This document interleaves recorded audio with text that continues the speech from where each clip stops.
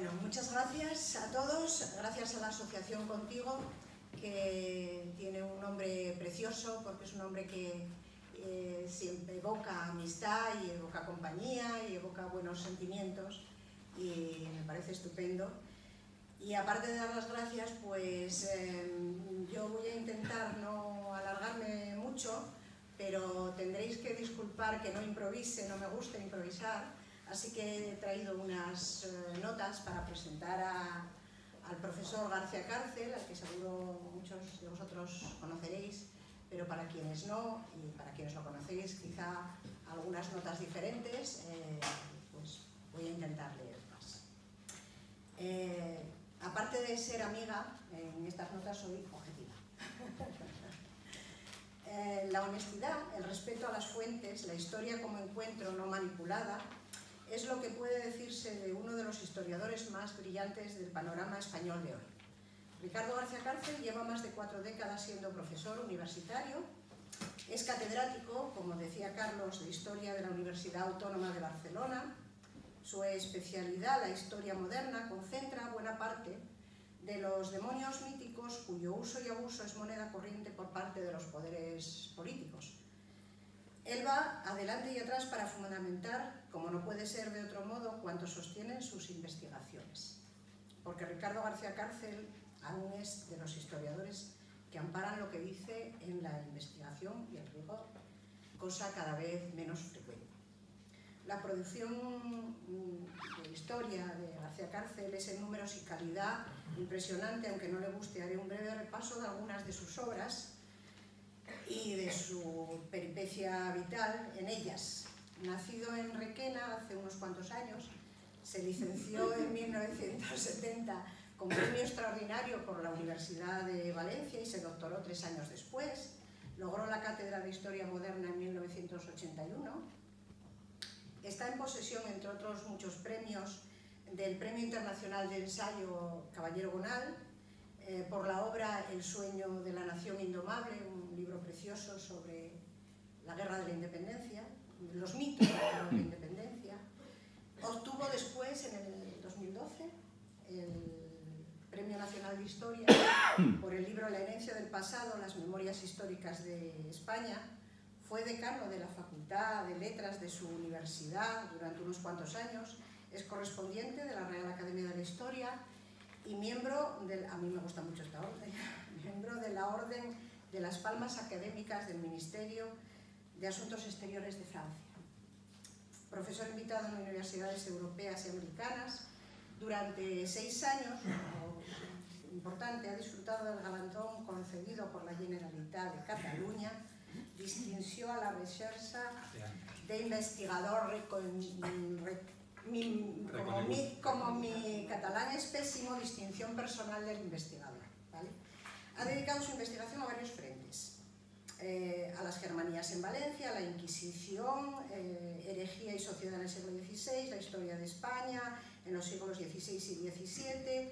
Se ha adentrado, son muchos los libros, voy a obviaroslos, se ha adentrado incluso en el estudio de la religiosidad femenina del barroco con un libro muy bonito que se llama Teresa de Jesús, la construcción de la santidad femenina, en colaboración con una amiga común, mm, Rosa María Lagús. Del tema que nos ocupa, Cataluña ayer y hoy, por simplificar, sabe mucho. Eh, del ayer, porque sus estudios lo acreditan desde hace tiempo, estudió a Pau Clarins y la revolta catalana del siglo XVII, estudió la historia de Cataluña en los siglos XVI y XVII, otro libro, Felipe II y Cataluña, pero eh, también ha profundizado en momentos de la historia particularmente requeridos que no queridos, por el nacionalismo y su construcción particular de la historia, como Felipe V y los españoles, una visión periférica de España, la leyenda negra, historia y opinión. Decía que en el 2011 veía a la luz un libro que le valdría el Premio Nacional de Historia, La herencia del pasado, las memorias históricas de España, y me refiero a él especialmente porque me parece eh, un texto valiente, en el que aborda mm, las memorias, la historia vista a través de las memorias de quienes las vivieron o las quisieron influir, que de todo hay y en todo, todo se mezcla. Una revisión historiográfica novedosa, arriesgada, tratada con respeto exquisito. En ese texto están muchas de las claves de los problemas de la historia y de su uso interesado ayer y hoy, eh, del que seguro nos hablará. Dice él, hoy el presente lo invade todo y la historia se utiliza como una especie de memoria y rescate. Eh, a la vez hay una conciencia danista del tiempo histórico limitada a nuestros traumas recientes, traídos interesadamente como si el pasado anterior hubiera sido inventado por el franquismo. Por ejemplo, el pasado utilizado para legitimar identidades primigenias, ruedan por este libro, los secuestros de crío, el valor de la memoria dentro y fuera de España, los permanentes problemas de las dos o tres Españas, musulmanes, judíos, leyenda negra, memoria doliente, la España en quiebra, todo tiene cabida en esta herencia. Y entre todo algo descrito con claridad meridiana, mm, los siempre problemáticos encajes territoriales del, de España y mentiras repetidas, la Castilla contra todos, por ejemplo.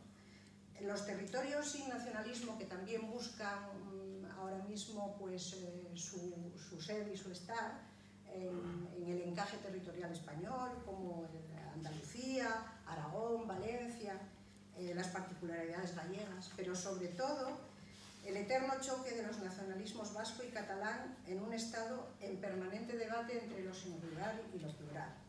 En la historia manipulada de los independentismos no solo vale ensalzar la historia propia, sino denigrar la ajena, en este caso la de España. Eh, y me perdí. eh, no. Decía hace poco que, bueno, que hay momentos particulares en la historia de España mm, requeridos y eh, uno de los últimos libros que ha escrito Ricardo García Cárcel, El demonio del sur, que es este, La leyenda negra de Felipe II, es un riguroso análisis político y mediático de este rey, eh, diferenciando realidad y representación, denunciando los tópicos simplistas que se dan en, la, el presentismo ideológico, declara el profesor García Cárcel en este, la necesidad de, de abandonar la idea de la excepcionalidad y el victimismo que se esconde detrás del concepto de leyenda negra. Pero la prudencia y la sensatez son cosas vanas en el, en el debate actual. Y nos da que Cataluña, en Cataluña esta deriva lleva mucho tiempo consolidándose. Para prueba un botón entre los muchos de esta mercería. En diciembre del 2013 se celebró en el Instituto de Estudios Catalanes, esto es con promoción institucional, un simposio con el significativo título de España contra Cataluña, una mirada histórica, 1714-2014, con motivo del tricentenario de la Guerra de Sucesión que provocó la entronización del primer Borbón cajón aquella guerra de muchos de los mitos nacionalistas catalanes. García Cárcel dijo entonces que la celebración del Congreso es en sí misma un error y además defiende una tesis insostenible. Según él, el tema del Congreso en estos momentos escandaliza a muchos y a mí también. Describir el papel de España como si fuera una madrastra de Blanca, como si fuera la madrastra de Blancanieves es algo infantil y la historia no es un cuento Verlo así es una visión maniquea que se destruye por sí misma. Cataluña no es un sujeto paciente de exterminio. Reconoció que no se le invitó por molesto. A la voz de Ricardo García Cáceres se sumaron otros muchos en aquella contra aquella como Borja de Riquer o Joaquín de Alvareda, también catedráticos en universidades catalanas, también José Álvarez Junco, que entonces estaba en Madrid, eh, y decía que el titular es inequívoco mm, y que no se puede permitir una toma de posición para, para un congreso con ese título. En aquel simposio eh, también el, el islamista John Elliot calificó aquello como un disparate. En aquel simposio participó y yo sorprendió mucho José Fontana, por ejemplo, y lo dirigió una persona que se llamaba Jaume Sobrequés, al que yo había conocido en el 85, cuando todavía era un moderado hombre del PSC. Y, aquella deriva a mí me pareció también eh, sorprendente, increíble.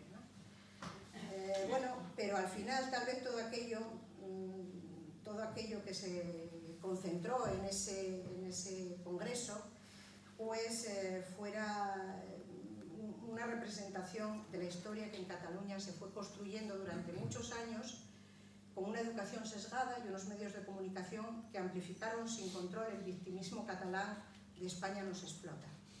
El caso es que, como siempre, esto generó y genera movimientos en contra que ahondan las diferencias y hacen más difícil el equilibrio y el debate sereno. Y a las pruebas me remito. Contra la España madrastra está la España orgullosa, que gana adeptos en el otro sector. Vamos de un lado a otro. Una propuesta para reponerse y sacar pecho. Ahí está el ensayo de Imperiofobia y Leyenda Negra, de María Elvira Rocabarea. En defensa de España, de Stanley Payne. O incluso desde fuera de la historia, pues un ensayo muy reciente de Pedro Insúa, 1492, España contra sus fantasmas. Las cosas están tan radicalizadas que hasta una conferencia sobre Cervantes en Barcelona hace unos días, muy pocos días, con el acreditado Jan Canavallo eh, como ponente y nuestro conferenciante con él, tuvo que ser suspendida por altercados. El marco de la universidad, que en otro tiempo fue escenario de debate abierto, se reconvirtió de nuevo en un campo de batalla. El pobre Don Quijote quedó otra vez desolado en la playa de Barcino, lo mejor entre todo este panorama se pierde la mesura, el buen juicio, la investigación, serie rigurosa, pierde la historia. Por eso Ricardo García Cárcel desmonta mitos a base de descubrirlos. Y os recomiendo, si tenéis curiosidad, eh, reviséis en Crónica Digital, que es un periódico abierto. Crónica Global. Oh, perdón. Crónica Global. Crónica Global, que es un periódico digital en abierto eh, pues una serie de, biografías sobre catalanes míticos, ¿eh? más que mitos catalanes, bueno, un ejercicio muy elocuente. Con lo dicho hasta aquí, pues no duraré la ley de que para hablar de este tema hay poca gente con la solvencia de Ricardo y tal vez él pueda decirnos imperará al fin la semi o continuará la rausa catalana. ¿Eh? Pues gracias.